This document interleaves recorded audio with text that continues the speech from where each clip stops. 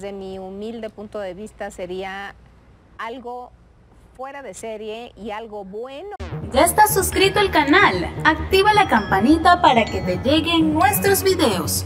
El equipo de Exclusivas TV.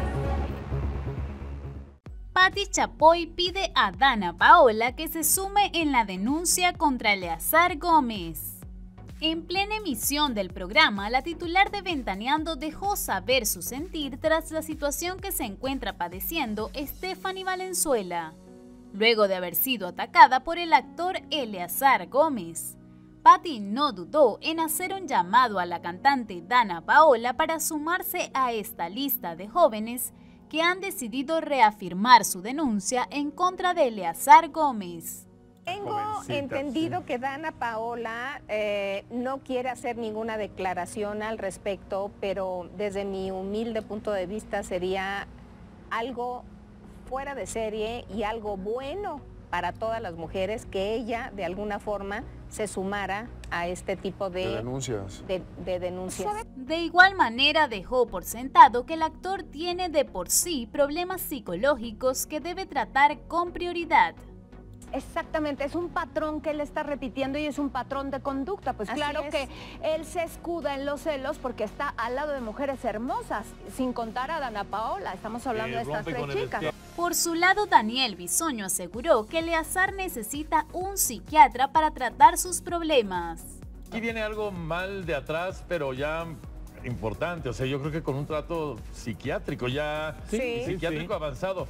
Mónica Castañeda también hizo un recuento sobre los antecedentes que ha tenido el actor con sus ex novias. No es la única, no es la única. Eh, ya sabemos de Stephanie, acabamos de escuchar a Janet y Vanessa López. Tenemos este otra modelo, ¿sí? Otra modelo.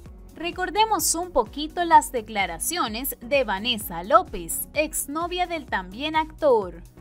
Hola a todos, quise hacer este video porque me están llegando muchos mensajes y me han querido entrevistar, pero yo creo que es mejor que lo que tenga que decir lo diga por aquí, ya que no es tanto. Ya mucha gente sabe lo que pasó al final de mi relación con Eleazar hace tres años. Y hubo quienes no me creyeron, hubo quienes pensaron que solamente quería fama o que estaba queriendo llamar la atención, lo cual a mí me pareció bastante ridículo porque es un tema muy delicado con el cual yo nunca jugaría. Y lo que está pasando ahora con Eleazar y con esta chica no me da nada de gusto. Al contrario, es algo muy fuerte, muy delicado. Yo agradezco muchísimo a Dios que mi caso no fue tan extremo, que no permití que esto pasara a mayores por hablar con los medios. De igual manera mostró empatía con la nueva novia de Eleazar, Stephanie Valenzuela. Y me solidarizo muchísimo con Tefi porque sé que no la está pasando nada bien. Espero que a ustedes también les sirva de lección el saber que una agresión, por más mínima que sea, no debe callarse porque luego puede tener consecuencias muy graves como las que estamos viendo ahora. Les mando muchos besos.